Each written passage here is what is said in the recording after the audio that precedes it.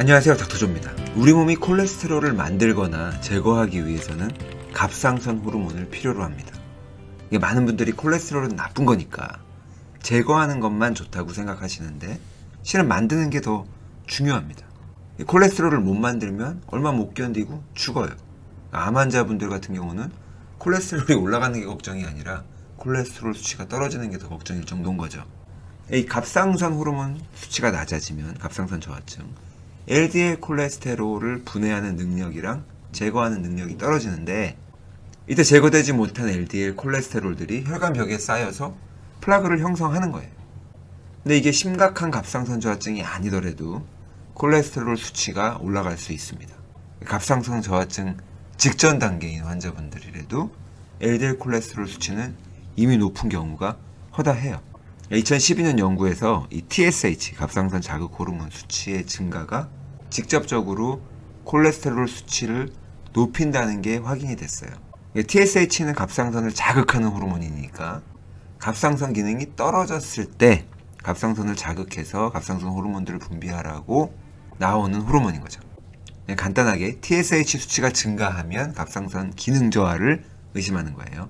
근데 이 TSH 수치가 정상 범위 안에 있더라도 뭐 약간 정상 범위 내에서 조금 높은 편이다. 다른 갑상선 호르몬 수치들은 아직 정상이다. 그럼에도 불구하고 콜레스테롤 수치는 이미 증가할 수 있다는 거예요. 반면에 TSH 수치가 낮은 사람들의 경우 콜레스테롤 수치도 확실하게 낮았습니다. 정상 TSH 범주는 0.5에서 뭐5.0 정도지만 0.7에서 이제 2.0 사이가 이상적이에요. 2.5 이상 넘어가면은 대사질환 또는 갑상선 기능 저하를 의심할 수 있습니다. 그리고 이 갑상선 기능 저하는 당뇨병이랑도 연관이 있다고 이미 알려져 있어요. 이게 무슨 뜻일까? 갑상선 기능 저하가 콜레스테롤 수치를 증가시킨다기보다는 아니면 그 TSH 호르몬이 나와서 콜레스테롤을 증가시킨다라고 보기보다는 인슐린 저항성, 특히 스트레스로 인한 인슐린 저항성이 갑상선 저하와 콜레스테롤 수치를 증가시킨다고 보는 게 맞습니다. 갑상선 따로 고치고 콜레스테롤 수치 따로 고칠 일이 아닌 거죠. 전부 다 고치던가, 전부 다 못 고치던가, 자꾸만 뭐 아니면 도 이런 식으로 말씀을 드리는데 그게 현실이에요. 인슐린 저항 때문에 당뇨도 오고 고혈압도 오고 살도 쪘는데 당뇨 따로 고치고 고혈압은 놔둘 수 있어요? 그거 아닌 거죠. 인슐린 저항성을 고치게 되면 모든 게 다 해결이 되는 거니까.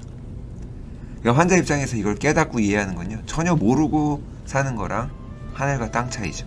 지식, 정보만 쫓아다니기보다는 지혜를 얻어서 여러분들 건강을 회복하시기 바랍니다. 감사합니다.